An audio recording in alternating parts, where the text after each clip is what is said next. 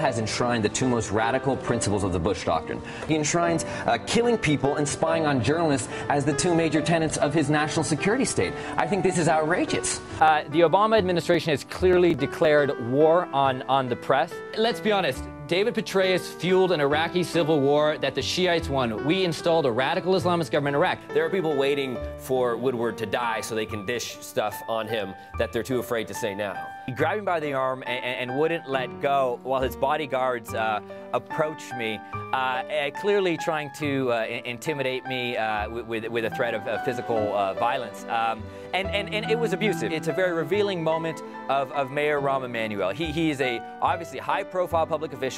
He's notorious for this kind of abusive and bullying behavior, and he gets away with it again and again and again. I think the only recourse to this kind of behavior by the government is to say back to the government, we declare war on you. You know, look, I, have interviewed uh, terrorist leaders, I've interviewed dictators, um, I've interviewed a lot of politicians, I've interviewed a lot of angry people, uh, but none have ever laid a hand on me. And you asked me to be here. You asked me to be here to make these That's claims. That's why I've asked you one, but, but for you to dispute everybody else's claims as being nonsense and only yours to be the correct ones. I, am not disputing that. I'm so, saying, I'm saying the cheeky. claims they've made over these years about General Petraeus have been a lot of nonsense, Piers, and that's fact.